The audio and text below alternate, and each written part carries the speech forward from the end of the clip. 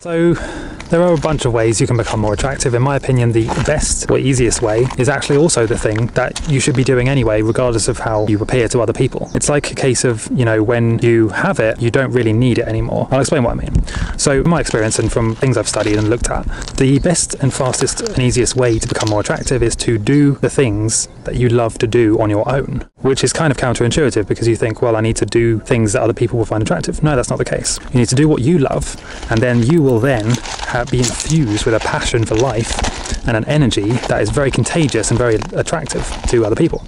When you do the things you love doing, what happens is you end up going into the flow, being creative, working on your you know, like your purpose and your mission, and that ends up leading to really good things, and you become a truer expression of yourself. Then when you're doing these things, other people notice that, and so they are attracted to you. The opposite of this is when you try and fit in and try and like make everybody happy. When you do this, what happens is, well, firstly, you don't make everybody happy because nobody can, and then and secondly, you make yourself unhappy, which is very easy to pick up on. People notice that when you're unhappy and doing some boring, soul-sucking job.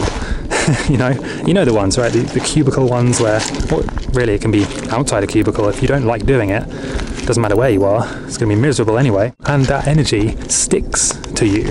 So when you're outside of work, you also have that energy. You're trapped in a way, working a job you don't like. And so that energy stays with you, and people notice that. People can see, ah, they don't seem happy with their life. They don't seem like they're living on purpose. They seem like they're just kind of sleepwalking. And so that's the main thing.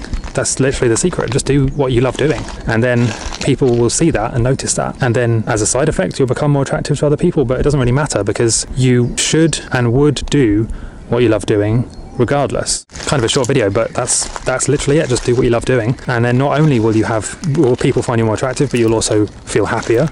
Life will be more fun, and opportunities will come to you. And then when you when you're doing what you love, often you become good at it, and then you can usually monetize it and have that as your business. And suddenly, your whole life is revolving around what you love, and it's very easy.